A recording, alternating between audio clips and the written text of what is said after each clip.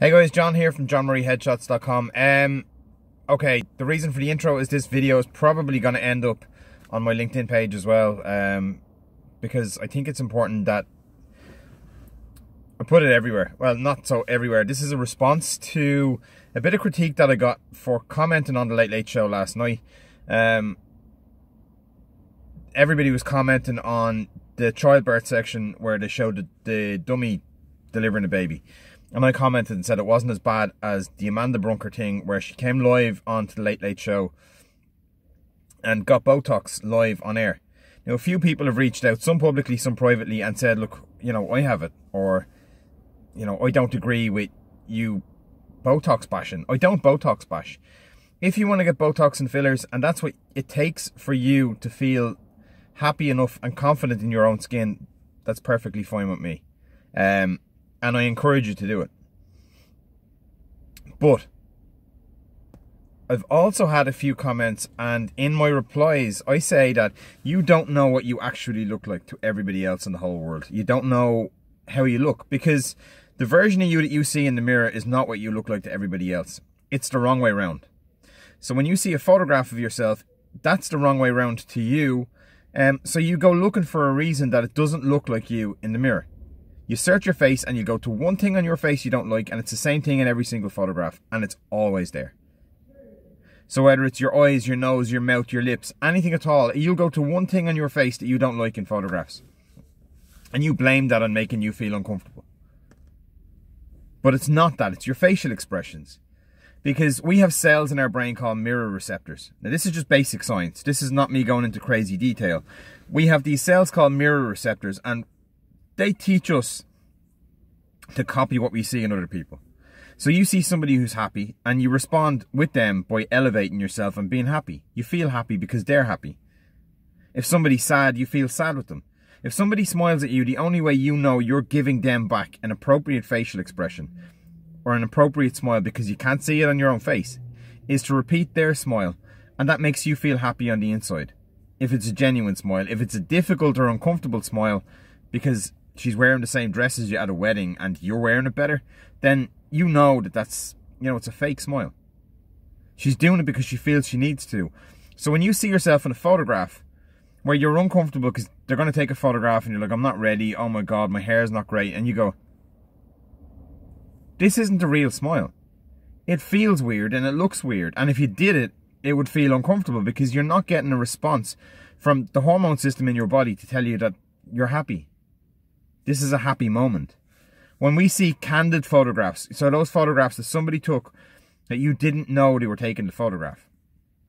When they take that photograph and you see that image and you're like, oh my God, I really like that photograph. It looks like me. Of course it does, because the facial expression is genuine. So you don't know what you look like. I guarantee you that you're a lot prettier than you think you are, or you're a lot more handsome than you think you are, because when you see yourself in the mirror, you instantly think, that's what I look like. For your whole life, you will believe that's what you look like. So when you go for Botox or fillers, nobody tells you, hold on a minute, you're complaining about your nose, or you're complaining about your eyes, or you're saying that your lips are too thin. You're comparing yourself against somebody else for start. So your lips are too thin in comparison to somebody else. You wish you had bigger lips because you've seen it somewhere. And you think that that makes that person prettier than you. It doesn't. There's 7.5 billion people in this earth, and every single one of them are different. If you're a twin, you're different than your twin. You look different. You don't know what your face looks like when you're happy or you're sad or uncomfortable or you're lost or you're confused. You know, you don't know what happens. We've got somewhere in the region of 16,358 different musculature variations on our face. There was a study done, I think it was only last year, that showed that. So you don't know what you look like when you're shown about 31 different facial expressions, depending on what's going on in your day. When we think with this part of our brain up here, the front part of our brain, about moving our faces because we have to smile and because it's a habit and we're standing in front of the camera and the bit of your brain that looks like a walnut says it's time to smile, we go and we're uncomfortable so we back away and we look awful. This is not what you look like when you smile.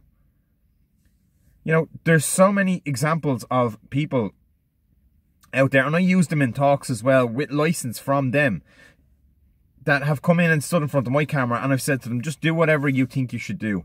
And they do it, and then a few photographs down the line, we're looking at a completely different person because they've elongated their spine and fixed themselves. And they don't have all this going on because I make them do things like stick their head forward and squeeze their eyes.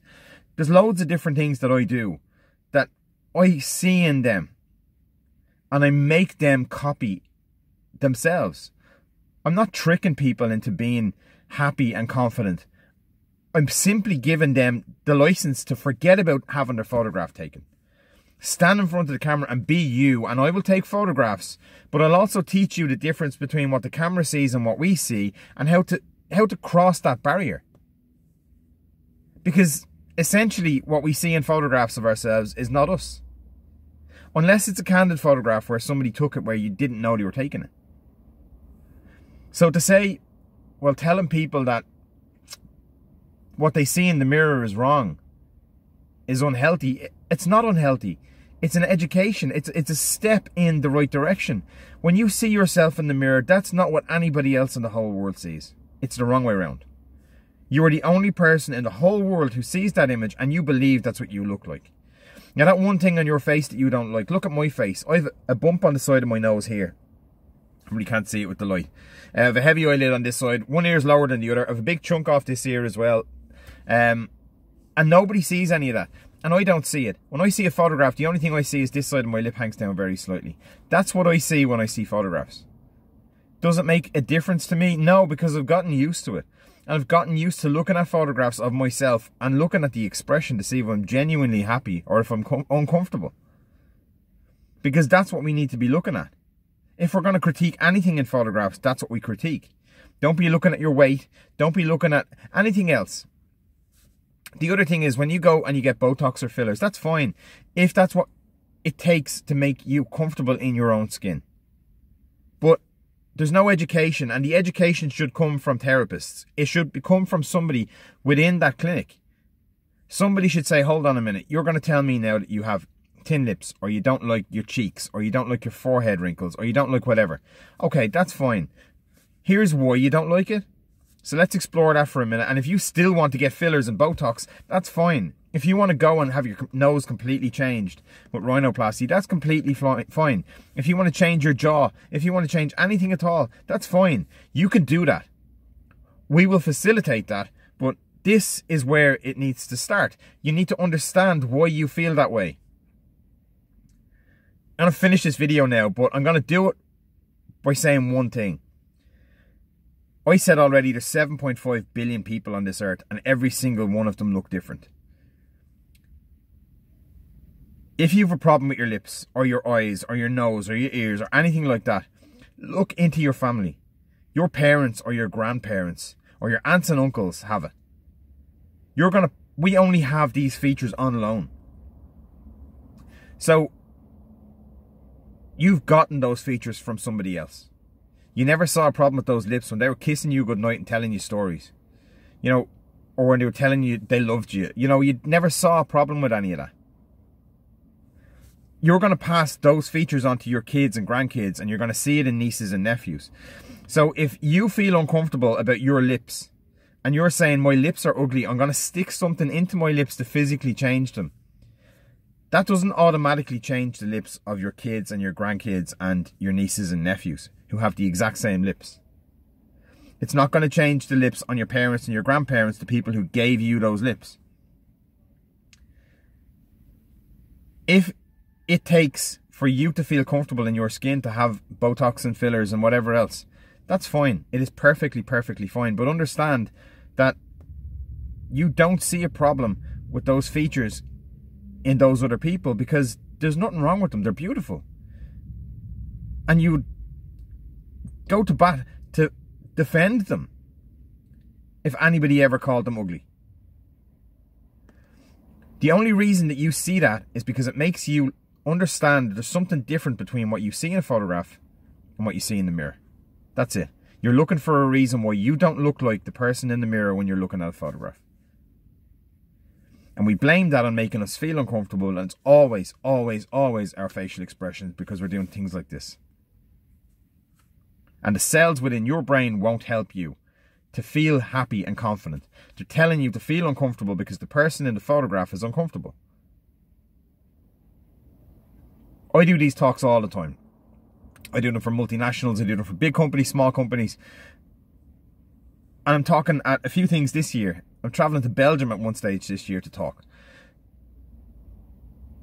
Look, the way it is, is essentially the way I finish every single talk that I do with any of these companies, and it's how you walk in the skin you wear is your decision. Why not embrace it? Because what other choice do you have?